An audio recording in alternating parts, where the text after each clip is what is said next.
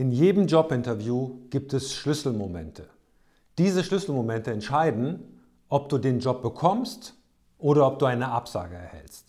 Und einer dieser Schlüsselmomente ist sofort am Anfang des Gespräches. Du hast gerade Platz genommen, der Interviewer lächelt dich vielleicht an und dann stellt er dir genau diese eine Frage. Stellen Sie sich doch bitte kurz vor. In einem Vorstellungsgespräch hast du nur eine Chance, einen guten ersten Eindruck zu machen. Und die Selbstvorstellung ist die perfekte Möglichkeit dazu. Deswegen erfährst du in diesem Video ganz genau, warum wird diese Frage gestellt, wie bereitest du dich perfekt auf diese Frage vor und am Ende mache ich dir ein ganz konkretes Beispiel mit drei Schritten, wie du diese Selbstvorstellung Stück für Stück perfekt beantworten kannst, sodass du es für dich eins zu eins nachbauen kannst. Bitte stellen Sie sich vor, erzählen Sie mal etwas von sich selber, führen Sie uns doch mal kurz durch Ihren Lebenslauf. All das sind Synonyme für die Selbstvorstellung für die erste Frage im Vorstellungsgespräch. Warum wird diese Frage gestellt? Naja, einmal ist es für die Interviewer einfach, weil jetzt bist du erstmal dran. Ja, man will sehen, hast du dich gut vorbereitet auf die Stelle? Weißt du, worum es geht? Man will sehen, okay, gibt es Anknüpfungspunkte? Passt das Ganze? Passen die Fähigkeiten zu deinen Erfahrungen? Passen die Skills zu den Sachen, die du gemacht hast? Und man will natürlich sehen, ob der Bewerber einigermaßen eloquent ist, kann er sich ausdrücken, kann er ja, ein paar Sätze für sich formulieren, ohne dass es ein reiner Dialog ist. Und es ist für den Interviewer natürlich auch immer einfach, weil er sich erstmal zurücklehnen kann und dir zuhören kannst. Das heißt aber auch, es ist deine Show. Bevor wir zur Selbstvorstellung kommen, vielleicht nochmal drei Tipps, die vor der Selbstvorstellung sind, die dir helfen, hier sofort einen guten Eindruck zu machen. Tipp Nummer eins: schau, dass du 15 Minuten vor Beginn des Gespräches da bist. 15 Minuten ist nicht zu lang. Oft ja, gibt, haben wir noch andere Sachen zu tun, ist aber auch nicht zu kurz, sodass du gehetzt auftauchen kannst. Und es gibt dir die Zeit, dir nochmal die Stellenausschreibung anzugucken. Die hast du natürlich mitgenommen, idealerweise ausgedruckt und nicht auf dem Handy. Und du kannst dir nochmal deine Selbstpräsentation vorher anschauen, hast ein paar Minuten Zeit, sodass du ganz entspannt und locker ins Gespräch gehen kannst. Der zweite Tipp ist, schau doch, dass du anständig angezogen bist. Du musst vielleicht keinen Anzug und keine Krawatte tragen. Es hängt immer davon ab, bei welcher Firma du dich vorstellst und um welchen Job es tatsächlich geht. Also wenn du dich auf einen Job auf dem Bau bewirbst, musst du wahrscheinlich keinen Anzug und Krawatte tragen. Ich spreche jetzt von Männern, bei Frauen dann halt adäquat. Aber schau, dass das, was du anhast, zu dem passt, zu dem Job, den du gerne machen möchtest. Das zeigt der anderen Seite, du hast dich vorbereitet und du nimmst die ganze Sache auch ernst.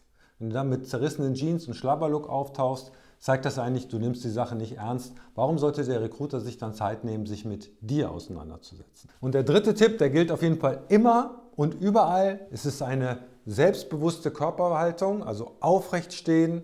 Ja, also wenn du so schon reinkommst, dann denkt man, uh, wo hat der denn Angst vor? Ähm, also eine aufrechte Körperhaltung, ein klarer Blick und was auch noch gut ist, immer lächeln, also freundlich sein. Wir reden lieber mit freundlichen Leuten, mit Leuten, die uns anlächeln, als Leuten, die böse gucken. Und äh, ja, mach eine offene, freundliche Begrüßung. Wenn dir eine Begrüßung angeboten wird, gib die Hand mit einem kräftigen Handschlag, schau den Leuten in die Augen und setz dich erst an den Interviewtisch, wenn sich die anderen gesetzt haben oder wenn du gebeten wirst, dich hinzusetzen.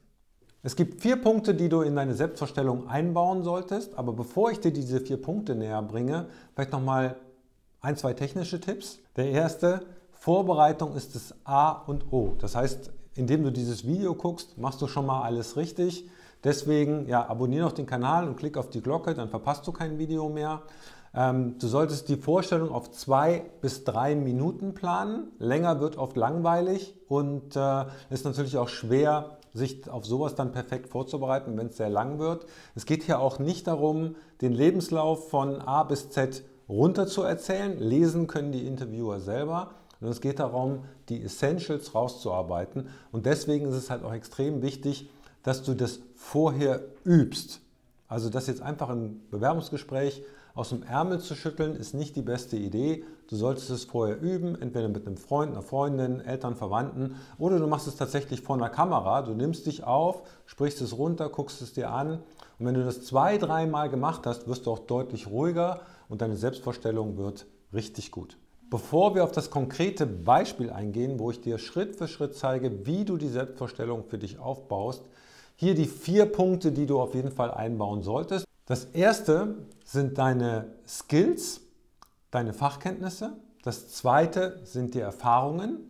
Das dritte deine Erfolge. Und das vierte, da sollte immer noch was kommen, aus dem man schließen kann, was du für eine Person bist. Also zum Beispiel deine Hobbys oder welche speziellen Eigenschaften du hast.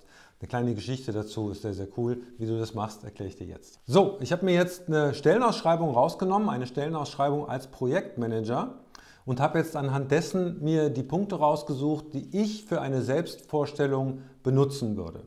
Die erste ist Kundenkontakt und Projektabwicklung.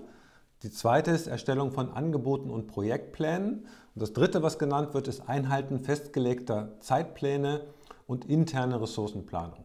Jetzt sagst du, ja, das sind ja mehr Aufgaben, aber das ist so, wie es in der Stellenausschreibung genannt worden ist. Und so würde ich das jetzt hier auch nehmen.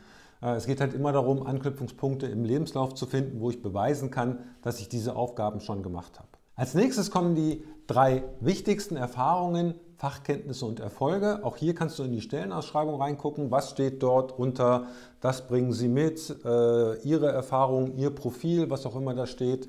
Meistens ist es aufgelistet und ich würde wirklich von oben bis unten runtergehen, weil die wichtigsten Sachen stehen meistens oben. Ähm, äh, und hier stand jetzt zum Beispiel in der Stellenausschreibung drin, Erfahrung im Bereich Projektmanagement in einer Agentur, einem Verlag, im Healthcare-Bereich oder in einem Pharmaunternehmen.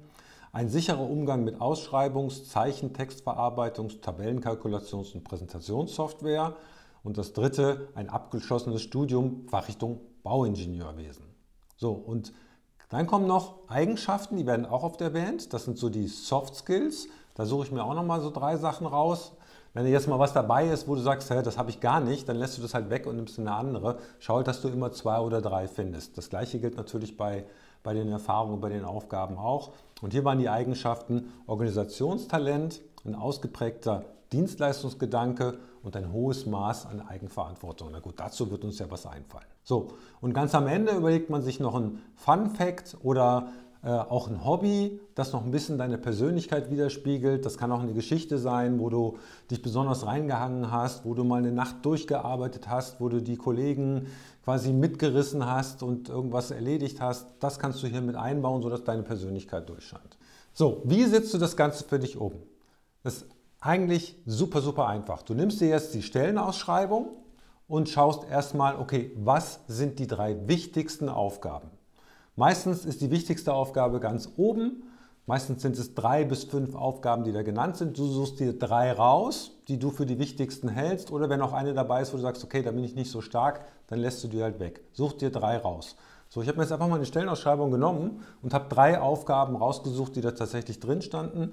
Und das sind Kundenkontakt und Projektabwicklung, die erste Aufgabe. Zweite Aufgabe, Erstellung von Angeboten und Projektplänen. Und die dritte, Einhalten festgelegter Zeitpläne und interne Ressourcenplanung. Es geht um die Stelle eines Projektmanagers. So, das waren die Aufgaben. Dann steht ja meistens unterhalb äh, der Aufgaben in der Stellenausschreibung, okay, das bringen Sie mit, äh, Ihr Profil, Ihre Eigenschaften, solche Geschichten. So, und da suchst du jetzt auch wieder drei Erfahrungen, Fachkenntnisse und Erfolge raus die für die Position wichtig sind, logischerweise, sonst wird es ja nicht stehen, und wo du natürlich auch sinnvoll was zu erzählen kannst. Hier kannst du natürlich auch schon diplomatisch vorgehen, wenn da was dabei ist, wo du dich nicht so stark fühlst, musst du das jetzt hier auch nicht ganz oben erwähnen. So, und hier waren jetzt als Erfahrungen drin, Erfahrungen im Bereich Projektmanagement in einer Agentur oder einem Verlag. Äh, das zweite, sicherer Umgang mit Ausschreibungs- und Präsentationssoftware. Und das dritte, abgeschlossenes Studium der Fachrichtung Bauingenieurwesen. Das wäre jetzt auch ein Erfolg und eine Erfahrung im Prinzip.